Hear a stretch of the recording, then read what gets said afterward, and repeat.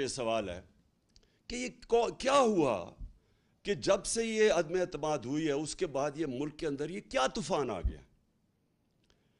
ये जो पीडीएम के लोग हैं ये सब कहते हैं कि जी देखें इमरान खान ने बारूदी सुरंगें छोड़ दी हैं। कि जी आईएमएफ के से कोई इन, इनकी इनके समझौते थे जिसकी वजह से ये कीमतें आसमानों पे चढ़ा दी हैं। यानी हमारे बाद डीज़ल पेट्रोल, गैस, बिजली, आटा, चावल, ये सारों की कीमतें बढ़ गई हैं। लेकिन थोड़ी सी नहीं बढ़ी। हमारी बारी तो मुझे याद है कोई बारह रुपया बढ़ा था पेट्रोल या डीजल तो उन्होंने महँगाई मार शुरू कर दी थी। जब से ये आए इन्होंने चौरासी रुपया लीटर पेट्रोल की कीमत बढ़ाई। 110 रुपए लीटर डीजल की कीमत बढ़ाई। अब याद रखें, डीजल ख़ास तौर पे किसान और आजकल सबसे ज़्यादा किसानों को मुतासर करेगा। और वो आगे हमारी फ़ूड सिक्योरिटी पे कि हमने 22 करोड़ लोगों को खिलाना है। हमारा तो इस वक्त अगर हमारा किसान खुशहाल है तो मुल्क बेहतर है। तो लिहाजा इसका इफ़ेक्ट हर तबके पे पड़ेगा ट्रांसपोर्ट पे पड़ेगा। इसका और अभी इफ़ेक्ट आगे भी आएगा। बिजली के बिल आएँगे लोगों के पास जुलाई में। उसके बाद लोगों को अंदाज़ा होगा कि कितना बड़ा महँगाई का एक बम फटा है। तो सवाल एक ये है कि ये एकदम इतनी महँगाई क्यों की है? तो ये कहते हैं कि जी हम आईएमएफ प्रोग्राम में थे। आईएमएफ के प्रोग्राम में ये तो दो महीने से हैं। हम ढाई साल से आईएमएफ के प्रोग्राम में थे। क्या हमारे ऊपर प्रेशर नहीं था ये कीमतें बढ़ाने का? क्या हमें, हमने नहीं आईएमएफ से हमारी बार बार निगोशिएशंस हुई? क्या हमने अपने लोगों के मफादात की हिफाजत नहीं की? और ये क्यों नहीं कर सकते? क्या हमने, हमें जब उन्होंने कहा था कि पेट्रोल और डीजल की कीमत बढ़ाओ तो हमने दस रुपए कम की थी। कैसे की थी? हमने इधर उधर से पैसे निकाले थे। हमारी रिकॉर्ड टैक्स हमने इकट्ठा किया था।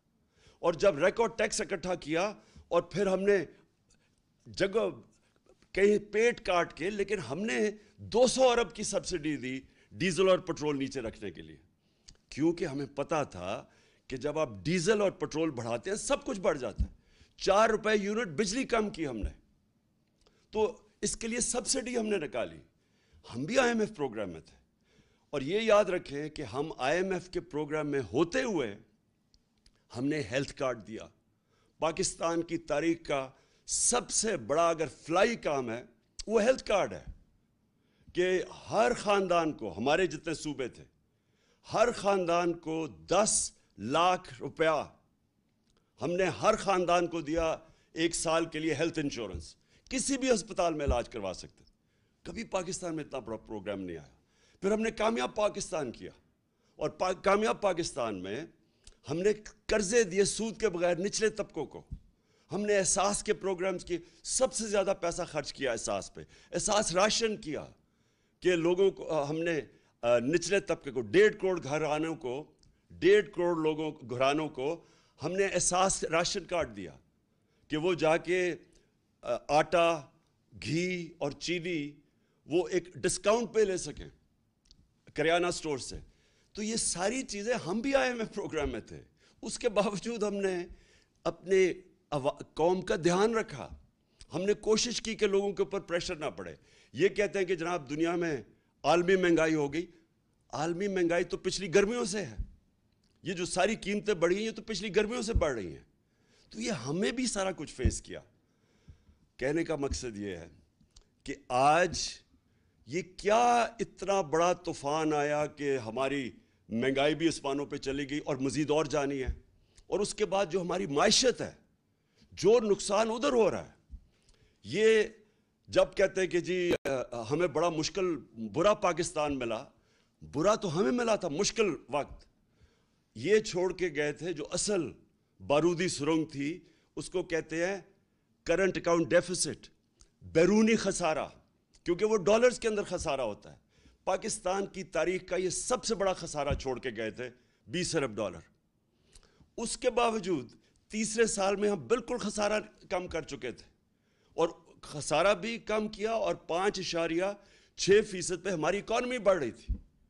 और ये याद रखें कि ये कोरोना का साल था और उससे जो दो साल कोरोना के थे, दूसरा और तीसरा हमारा साल कोरोना का साल था। और कोरोना का के बावजूद पाँच इशारिया छः फ़ीसद पर पाकिस्तान बढ़ा, जब हिंदुस्तान मनफी सात फ़ीसद पर चला गया। उनकी ग्रोथ उनकी दौलत में बजाय इजाफा होने के नेगेटिव में गया। उस दौर में जिस तरह पाकिस्तान ने सबसे, ये सदी में एक दफ़ा इतना बड़ा बुरहान आता है जो कोरोना का सारी दुनिया में अजाब आया तो पाकिस्तान वो मुल्क था, चंद मुल्कों में से जिसने सबसे बेहतरीन तरीके से अपने लोगों को बचाया, गरीबों को बचाया, अपनी माशत को बचाया। और इसमें मैं आज ख़ास तौर पर फिर से, मैं पहले भी कह चुका हूँ कि जो हम, मैं आज खराज तहसीन पेश करना चाहता हूँ हमारी एन सी ओ सी जो हमने स्ट्रक्चर बनाया था, जिसको असद उमर उसके लीड कर रहे थे, जिसमें सारे पाकिस्तान के इदारे थे सबने अपना काम किया, जिसमें पाकिस्तानी फ़ौज भी थी। और जिस तरह अभी जो हमारा फैटफ में से हम निकले हैं फैटफ के अंदर भी सबने मिल के एक मुल्क ने मिल के लड़ा था, जिसमें सारे इदारे, जिसमें हमाद ने लीड किया था, जिसमें सारे इदारे थे, जिसमें पूरी कोशिश की बल्कि प्राइवेट लोग भी थे, जिसमें पाकिस्तानी फ़ौज भी थी सबने मिल के इतने बड़े इश्यूज़ हमारे दौर में रिजॉल्व हुए। इसी दौर में जब हम आई में थे, इसी दौर में जब आलमी बुरान था, एक कौम बन के हम इससे निकले थे। ये जो आज फंसे हुए हैं, ये जो आज हमारी सारी जो इतनी मुश्किलों से मुल्क को हम निकाल नकूल के यहाँ लेके आए थे, आज महँगाई के अलावा जो हमारी मीशत है, ख़तरे में है। मूडीज़ के अंदर जो क्रेडिट रेटिंग करता है, कि मुल्क की क्रेडिट रेटिंग उन्होंने माइनस में डाउनग्रेड कर दिया है। इसका क्या मतलब है? पाकिस्तान को कर्जे नहीं मिलेंगे। अगर कर्जे मिलेंगे तो बहुत महँगे कर्जे मिलेंगे। और ये दूसरी चीज़, वापडा का जो वापडा की रेटिंग ऐसी थी कि वो खुद इंटरनेशनल लोन्स ले सकती थी। अब इन जब से ये आए हैं, उसकी भी रेटिंग डाउनग्रेड कर दी है। इसका मतलब कि वापडा को वो लोन्स नहीं मिलेंगे। और अगर मिले तो बहुत महँगे मिलेंगे। उसका मतलब जो दस, इसी दौर में जो दस डैमें, दस डैम जो हमारे दौर में शुरू की हुई हैं, वो अब ख़तरे में चली जाएँगी, क्योंकि अगर पैसा ना, कर्जे ना मिले तो ये कैसे पूरे होंगे? तो मेरा सवाल ये है कि जब ये मुल्क तरक्की भी कर रहा था, इसकी पाँच इशारिया छः फ़ीसद तीसरे साल में और छः फ़ीसद चौथे साल में जब इसकी इकोनॉमी ग्रो कर रही थी, दौलत में इजाफा हो रहा था, जब रिकॉर्ड हम टैक्स इकट्ठे कर रहे थे, वो भी एक वजह है कि हम पैसे निकाल सके अवाम के ऊपर बोझ कम करने के सब्सिडाइज करने के लिए। रिकॉर्ड छः इशारिया, दो ट्रिलियन यानी छः हज़ार दो सौ अरब रुपए का हमने टैक्स इकट्ठा किया पाकिस्तान की तारीख में सबसे ज़्यादा। और इसी दौर में सबसे ज़्यादा पाकिस्तानी ओवरसीज़, बैरून अमल पाकिस्तान रिमिटेंसेज हमें भेजी। इकतीस अरब डॉलर की। बत्तीस अरब डॉलर की हमारी एक्सपोर्ट्स थी। और जो हमारी फ़सलें थी, जो हमारा एग्रीकल्चर ट्रांसफॉर्मेशन प्लान था, उसकी वजह से जो किसानों के पास पैसा गया, जो हमने उनकी मदद की रिकॉर्ड फ़सलें हुई हमारे पास। चार इशारिया, चार फ़ीसद पे हमारा ज़राए ज़रात हमारी आ, आ, आगे बढ़ रही थी। तो इस इस वक्त क्या हुआ कि आज सारा कुछ नीचे जा रहा है? और वो हुआ क्या? मैं आज आप सबको यहाँ बताना चाहता हूँ कि हुआ क्या? हुआ ये कि एक साजिश हुई। अमेरिका से एक साजिश जिससे यहाँ मीर जाफ़र और मीर सादक उन्होंने उनके साथ मिले। उसके बाद उन्होंने प्लान किया हमारी गवर्नमेंट गिराने का। उससे जो सियासत के अंदर, जो जो मुल्क के अंदर सियासी माहौल था, वो गैर यकीनी हो गया पॉलिटिकल अनसर्टनटी हो गई। उसका इफ़ेक्ट पड़ा माशत के ऊपर। मैंने जाके न्यूट्रल्स को, मैंने उनको समझाया कि देखें, अगर ये साजिश हो रही है, बड़ा अच्छा आप न्यूट्रल रहें। लेकिन ये जो साजिश हो रही है, अगर इस वक्त गवर्नमेंट को गिरा दिया गया इस साजिश के तहत तो ये इनसे संभाला नहीं जाएगा। हमने बड़ी मुश्किल से यहाँ तक आए हैं। ये बड़ी मुश्किल से कोरोना से निकल के जो कमोडिटी सुपर साइकिल था, ये जो जब यूक्रेन में गया, रूस और जो जंग हुई तो उसकी वजह से जो असरात थे, बड़ी मुश्किल से हमारी माशत यहाँ खड़ी थी।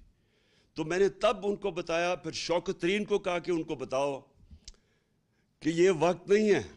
इस मुल्क के अंदर ये साजिश को कामयाब होने देने, क्योंकि इसका डायरेक्ट असर पड़ेगा हमारी माशत के ऊपर। और मुझे अफसोस से कहना पड़ता है कि वो टाइम था कि इस साजिश को नाकाम करने का।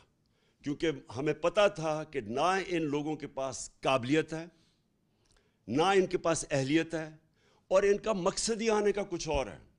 इनका मकसद इस मुल्क की ना महँगाई कम करने के लिए, ना इनका मकसद इस मुल्क की रिफॉर्म्स करने का था इकोनॉमी ठीक करने का था। इनका तो मकसद ही कुछ और था। और वो जो मकसद था, मैं बड़ा शुक्रगुजार हूँ, इनके वज़ीर दस्तगीर का, खुरम दस्तगीर का, जिसने टीवी प्रोग्राम पे कह दिया। अब उसने कहा, हमें तो सिर्फ़ ये था उसने दो चीज़ें कही। उसने कहा, एक तो हमें डर लगा हुआ था कि अगर ये रह गया, इसने नैब, इसने जजेस डाल देने थे और इसने हमारे जितने लीडर थे, उन्होंने जेलों में चले जाना था, जिसमें शबाज शरीफ ने भी चले जाना था। तो पहला तो मेरा सवाल यह है कि क्या यहाँ की अदालतें आज़ाद नहीं हैं? क्या यहाँ की जो अदालतें हैं, इसमें कोई हमारी इंटरफेरेंस हुई है आज तक? हम तो वो ज़माना नहीं कि हम टेलीफोन कर रहे हैं कि जस्टिस क्यूम जी हमें केस में ये रिज़ल्ट चाहिए। हमने तो सुप्रीम कोर्ट के ऊपर कभी सोचा नहीं हमला करने का। हमने किसी अदारे को, हमने आज तक, हमने अदारों को चलने दिया। नैब का अदारा जो चला है, मैं आप बता दूँ आज कि नैब ने कुछ 280 अरब रुपया अपने सारे कोई 18 साल में इकट्ठा किया था। हमारे तीन सालों में उन्होंने 480 अरब रुपया इकट्ठा किया, क्योंकि हमने मुदाखलत किसी में नहीं की। तो मैं जो आज सवाल पूछता हूँ कि ये जो खुरम दस्तगीर ने बात की है इससे ये वाजे होता है कि इनका तो मकसद था ही नहीं और कुछ स्वाय एन आर ओ टू लेने का। इनका तो मकसद ये कि था। इसीलिए ये सारी जदोजहद थी। साढ़े तीन साल से ये बार बार जो ब्लैकमेल मुझे किया जा रहा था, ये तो सिर्फ़ चाहते थे। एनआरओ, दूसरा एनआरओ। याद रखिए, इनको पहला एनआरओ मिल चुका है। इनको मिला जनरल मुशर्रफ ने एनआरओ दिया, जो सारी इनके करप्शन केसेस थे। दो दो दफ़ा इनकी हुकूमतें गई करप्शन पे, नब्बे की दिहाई में। तो जो सारे इनके करप्शन के केसेस थे, वो सब जनरल मुशर्रफ ने माफ़ कर दिए थे। ये जो है, ये एनआरओ टू है। ये इन्होंने दस सालों में जो चोरी की थी, ये पचानवे फ़ीसद जो केसेस हैं, ये सारे इनके दौर के हैं। ये इनके जो दस साल थे, उनके दौर के केसेस बने हुए हैं। और अब इन्होंने क्या किया? इन्होंने जो कानून लेके आए हैं नैब की अमेंडमेंट्स का। मैं आज आप सारी कौम को ये बताना चाहता हूँ। इन्होंने जो नैब का अमेंडमेंट कानून लेके आए हैं और यही कानून इन्होंने कोशिश की थी, जब हम फैटफ की लेजिस्लेशन असेंबली से पास कर रहे थे और हमारा मकसद ये था कि फैटफ सी ग्रे लिस्ट से निकले, जो इनकी वजह से हम ग्रे लिस्ट पे थे। तो जब हमने फैटफ का कानून पास किया तो इन्होंने तब कोशिश की ब्लैकमेल किया कि हम फैटफ के लिए तब वोट देंगे जब आप हमें एनआरओ देंगे और ये नैब के अंदर चेंजेस लेके आएँगे। तब आपको पता होना चाहिए, इन्होंने वॉकआउट कर दिया। इन्होंने फैटफ की लेजिस्लेशन नहीं पास की थी, ये बाहर चले गए थे। तो इनके बगैर हमने फैटफ की लेजिस्लेशन पास की, जिसकी वजह से आज इन पाकिस्तान निकल जाएगा ग्रे लिस्ट से। तो इनका सिर्फ़ मकसद एन आर ओ टू था। और इन्होंने किया क्या है? इन्होंने अब जो चेंजेस लेके आए हैं, सारी कौम को पता चलना चाहिए कि 1200 अरब रुपए के करप्शन के केसेस कल जब ये कानून बनेगा, इनके केसेस खत्म हो जाएँगे। इस मुल्क का 1200 अरब रुपया जो चोरी किया हुआ था इन सरों के नामों पे, वो सारा खत्म हो जाएगा। अब ये एनआरओ टू मिल जाएगा इनको कल। अब सवाल ये है कि ये जब कहते कि जी हम बेबस हैं मेरा इनसे सवाल ये है कि अगर आप सिंसेयर हैं इस मुल्क से तो क्या आपको ये करप, ये जो 1200 अरब है, इसमें से अगर आप ये माफ़ करवा रहे हैं, सोचे ये इसका 400 अरब आ जाए तो हम फिर बिजली की कीमत नीचे ला सकते। हैं और फिर मैं इनसे सवाल पूछता हूँ कि जब हमने रूस से बात शुरू कर दी थी तेल की, अगर आपको फ़िक्र थी इस कौम की, और आप सारा वक्त साढ़े तीन साल से महँगाई की बात करते थे तो अगर आपने महँगाई कम करनी थी तो आपने क्यों नहीं, दो महीने हो गए, क्यों नहीं आपने रूस से तेल की बात की? क्योंकि आप अमेरिका के गुलाम हैं, अमेरिका की इजाज़त नहीं मिलती। हमने जब तेल सब्सिडाइज किया था तो हमारा पूरी कोशिश ये थी कि उसके बाद हम रूस से सस्ता तेल लेंगे जो हिंदुस्तान ले रहा है, जो श्रीलंका लेने लगा है, जो बांग्लादेश लेने लगा है। हमने भी रूस से तेल लेना था और उससे फिर हमने लोगों के ऊपर बोझ नहीं आने देना था। इन्होंने बजाय वो लेने के रूस से तेल, क्योंकि इनके जो, जिनके ये ग़ुलाम हैं, उनका हुक्म नहीं है इनको, लिहाजा आवाम के ऊपर बोझ डाल दिया। असल मकसद जिसके लिए ये आए थे, वो अब आपके सामने आ गया। एन आर ओ इन्होंने लेना था एन आर ओ टू अब इन्होंने खुद ही अपने आप को दे दिया है। और इससे 1200 अरब रुपया इस कौम का ये हज़म कर जाएँगे। पहले सारा पैसा हज़म किया एन आर ओ वन पे, ये दूसरा है अब। और फिर, जो दूसरी मसला है, दूसरा मसला ये है कि पाकिस्तान को जिधर ये लेके जा रहे हैं अब, मुझे खौफ है कि ये उस तरफ़ जा रहा है जिधर श्रीलंका पहुँच गया है। और वो हम, मुझे खौफ ये है कि हमारे पास जिस तरह ये हमारी अब रेमिटेंसेस गिर रही हैं, हमारी 10 परसेंट एक्सपोर्ट्स गिरी हैं पिछले महीने। जिस तरह ये ट्रेंड जा रही है, हमें खौफ ये है कि हमारे पास डॉलर नहीं होंगे, कि हम अपना जिस तरह श्रीलंका तेल नहीं खरीद सकता। आपको पता होना चाहिए कि जब हम आए थे जब जब इन्होंने नो कॉन्फ्रेंस किया था तो डॉलर एक सौ अठहत्तर रुपए का था। आज वो दो सौ आठ रुपए पे पहुँच गया और ये सिर्फ़ और सिर्फ़ अब इनके पास एक रास्ता है कि ये किसी तरह अमरीकनों के पास अब जाएँगे और उनके पैर पकड़ेंगे। मिफ्ता इस्माइल पहुँच गया अमेरिकन एम्बेसडर के पास और उससे उसने कहा कि जी, हमारी मदद करें। किसी तरह हमें हमें कोई रिलीफ दिलवा दें। तो मिफ्ता इस्माइल और शबाज शरीफ को मैं ये कहना चाहता हूँ कि देखें, ये जो अमेरिकन हैं, इनकी एक बड़ी, एक एक, इनकी फ़िलासफ़ी है। वो ये है कि there is no free lunch कोई चीज़ मुफ़्त नहीं मिलती। हर चीज़ की कीमत होती है। तो जो वो कीमत आपसे वसूल करेंगे वो हमें खदशा है। वो हमारी सॉवरेंटी की कीमत होगी वो हमारी हकीकी आज़ादी की कीमत ली जाएगी। और उस कीमत, वो जो कीमत है, वो अभी से नज़र आना शुरू हो गया कि ये तैयार हो गए वो कीमत देने के लिए। बिलावल भुट्टो ने कहा कि जी, हिंदुस्तान से हमें ताल्लुक अच्छे रखने चाहिए। हम भी अच्छे रखने चाहते थे हिंदुस्तान से ताल्लुक लेकिन जब उन्होंने 5 अगस्त 2019 को कश्मीरियों की स्टेटहुड ली जब उन्होंने जो कश्मीरियों को आ, वो जो आर्टिकल उनका थ्री सिक्सटी जो भी आर्टिकल था वो ख़त्म किया। जब उन्होंने उनका स्टेटस लिया वो याद रखें वो यूनाइटेड नेशन सिक्योरिटी काउंसिल्स की रेजोल्यूशन की खिलाफ वर्जी थी। इंटरनेशनल लॉ तोड़ा। तो तब हमने उनसे रिश्ता तोड़ा। हमने भी कोशिश की तब उससे पहले दोस्ती की। तो अगर आज ये हिंदुस्तान से ताल्लुक ठीक करते हैं तो ये याद रखें, ये कश्मीरों ने जो कुर्बानियाँ दी हैं, वो सारी उनकी कुर्बानियों की कब्रों के ऊपर ये करेंगे। और दूसरी चीज़, एक और इनका मांडवी वाला उसकी स्टेटमेंट में देख रहा था, उसने कहा कि इसराइल से क्यों नहीं, हमें अपने मफादात का सोचना चाहिए। ये भी उसी एजेंडा का हिस्सा है जिससे ये रजीम चेंज की गई थी। वो यही है कि आप उस एजेंडे पे चलें जो हिंदुस्तान, इसराइल और जो अमेरिका चाहता है। और वो एजेंडा वो है जो हमारी सॉवरेंटी हमारी आज़ादी के ख़िलाफ़ है, जिसकी वजह से ये सारी जद्दोजहद थी पाकिस्तान की, जो हमारे लीडर कायद अज़म ने, जो इस मुल्क को बनाने की, वो क्यों बनाया था? हम क्यों आज़ाद हुए थे? तो अगर यही कर रहे हैं कि जाके अपनी सारी नज़रिए को, उस सबको दफन कर रहे हैं, कि मुल्क के ऊपर वो चोर और डाकू आ गए हैं, जिनके सारे पैसे बाहर पड़े हैं, इनके अरबों डॉलर बाहर पड़े हुए हैं जब चोरी करते हैं, बाहर पैसा ले जाते हैं और फिर प्रेशर डाल के एन ले लेते हैं।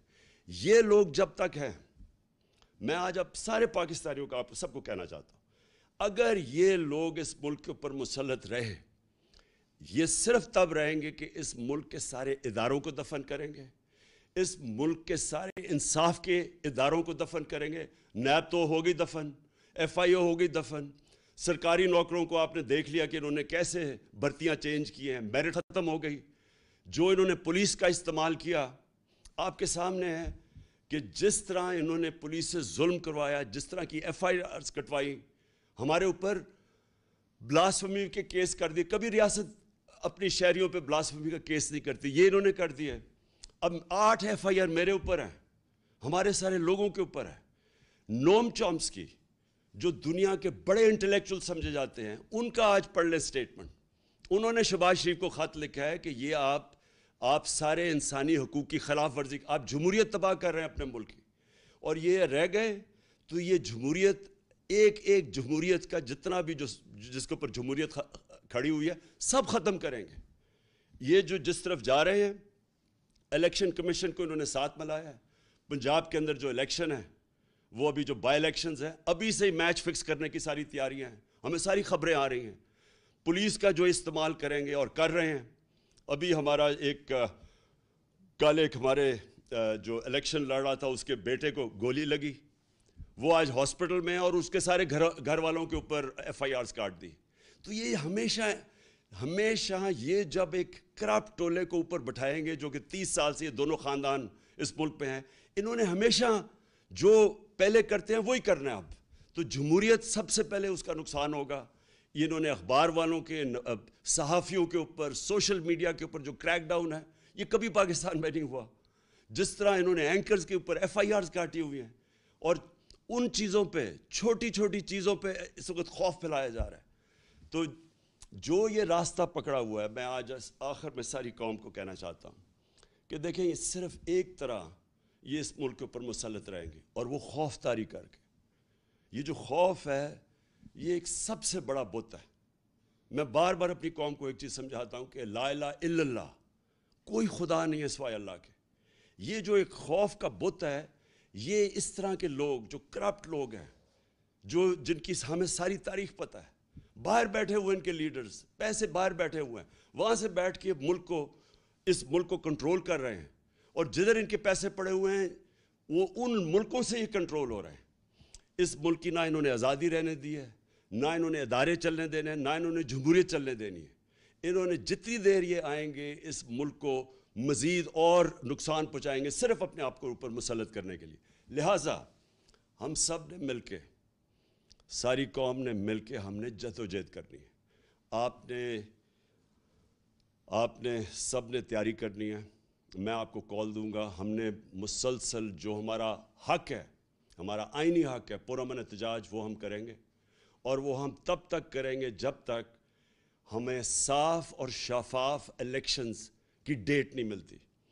मैं फिर से कह रहा हूँ इलेक्शंस नहीं, साफ़ और शफाफ इलेक्शंस साफ़ और शफाफ इलेक्शंस अगर ना हुए, मज़ीद और इंतशार होगा।